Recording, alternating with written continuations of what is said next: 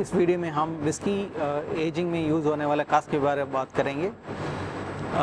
Whisky ageing के लिए हम बैरल यानी 200 लीटर्स का कास्ट हॉक सेट यानी 250 लीटर का कास्ट बट 500 लीटर्स का कास्क यूज़ करते हैं। फॉर एग्ज़ाम्पल बट और हॉक सेट जो है 250 लीटर्स का, ये ज़्यादा सा, ज़्यादा शहरी इंडस्ट्री में यूज़ होता है।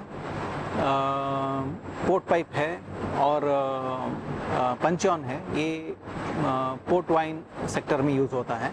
ये सारा कास्क हम विस्की मेचुरेशन के लिए भी यूज़ करते हैं। विस्की और स्पिरिट्स के बारे में ज़्यादा जानने के लिए देखते रहिए कॉकटेल जॉकी